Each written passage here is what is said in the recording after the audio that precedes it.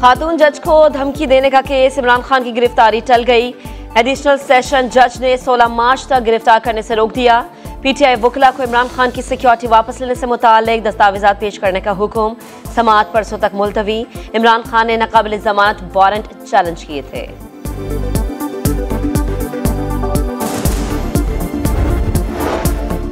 तोशाखाना फौजदारी केस में इमरान खान की गिरफ्तारी का खदशा। इस्लामाबाद पुलिस टीम के बाद डीआईजी ऑपरेशंस शहजाद बुखारी भी लाहौर पहुँच गए। शहजाद बुखारी इस्लामाबाद और लाहौर पुलिस के हमरा जमान पार्क जाएँगे। कब जाना है, कैसे जाना है, मुशावरत जारी।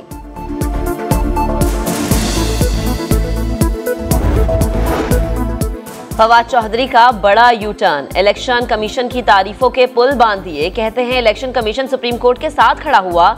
इस किरदार को सराहते हैं। इमरान खान की हिदायत है कि इलेक्शन कमीशन के लिए अच्छा तासुर देना चाहिए।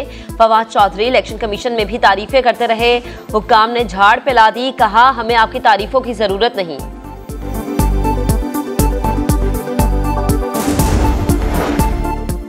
विफाकी हुकूमत ने तोशाखाना तहाइफ की लूट सेल का रास्ता बंद कर दिया। 300 डॉलर से जायद मालियत के तहाइफ। रियायती कीमत पर अपने पास रखने या खरीदने पर पाबंदी आयद। नकद रकम बतौर तोहफा लेना मजबूरी हो तो कौमी खजाने में जमा कराना होगी। कवायद जारी 22 फरवरी से इतलाक हो चुका। पंजाब असम्बली इंतबात के लिए कागजत नामजदगी जमा कराने का आज आखिरी रोज। लाहौर की 30 नशस्तों के लिए 1500 के करीब कागजत नामजदगी वसूल। उम्मीदवारों की इब्तदाई फहरिस्त कल आवेजा होगी। पी टी आई रहनुमा शाह महमूद कुरैशी ने पी पी दो सौ तेरह मुल्तान से कागजात जमा करवाए। सुलेमान नईम, अली हैदर गिलानी और दीगर रहनुमा आज कागजात जमा करवाएँगे। पाकिस्तान और आईएमएफ के दरमियान मुजाकरात में पेशरफ बैरूनी फाइनेंसिंग सात अरब के बजाय छह अरब डॉलर करने पर इतफाक वजारत खजाना के हुकाम चंद रोज में। स्टाफ लेवल माहे के लिए पुरुद आलमी मालियाती इदारे की मुश्किल शराय पर दोस्त ममालिक से मदद की दरख्वास्त। बताया चीन से दो अरब डॉलर रूल ओवर करने पर बात हुई।